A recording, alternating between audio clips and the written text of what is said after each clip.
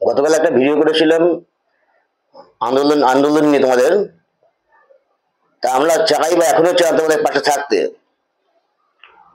এই নিয়ে অনেকে অনেকে কিছু বাজে বাজে মন্তব্য করছে, দেখছি। কি, কার অডিও ভাইরাল হয়েছে? ওটা কার গলা কার গলা ওটা? ওটা আমার গলা? ওটা আমার ভয়েস প্রয়োগ করেছ? ওটা কার কার ভয়েস আছে? কোথা থেকে প্রথম ছাড়া হয়েছিল? আমার মোবাইলটা নাম্বার নাম্বারটা দিয়ে দেবো। আমার মোবাইল নাম্বার থেকে দেখে নিও। কোন টাইমে কোথায় আমার কল গেছে কল এসছে। আমি সমস্ত তথ্য আমার আমার লোকালকে থানা আছে, পুলিশকে আমি অলরেডি ফাটিয়ে দিয়ে পাঠিয়ে দিয়েছি। টোটাল একটু মেসেজ সহ আমি পাঠিয়ে দিয়েছি। যারা কমান করছে, ভুল করছে, আমি তো সাবধান করে দিলাম, বলে কমান করো না, যদি বুকের পাটায় বল থাকে, এই নাম্বারে কল করো। যদি বুকের পাটায় বল থাকে কারোর কমান্ড লিখো যদি কমান্ড লিখে তো, এই নাম্বারে ফোন করো। দেখি কার কার দাম আছে।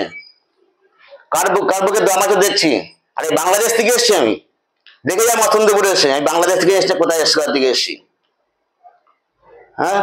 কিছু কি মানে ভালোর জন্য অনেক কিছু করা হয় মানে ম্যাথ করানো হয় ইংলিশ করানো, সবকিছু করানো হয়, তারপরে বাজে বাজে কমান করতে এসো তোমরা এখানে গ্রুপে কি মনে করছ, আন্দোলনটা ভেসে দেবে তোমরা? আন্দোলনটা মানে নষ্ট করবে? পারবে না। আমি এইটা এইটা লাস্ট বার বলে দিয়ে গেলাম। কমান করার আগে ভেবে চিন্তে কমান করবে। কার বিরুদ্ধে কি কমান করছ?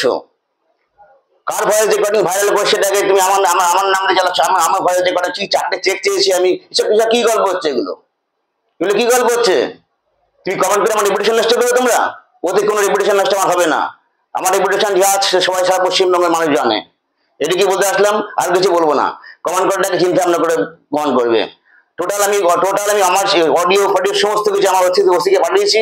ওসি সাইবার সেলে পাঠিয়েছি, সেখান থেকে সব দেখা হচ্ছে। অপেক্ষা করো, রাখলাম।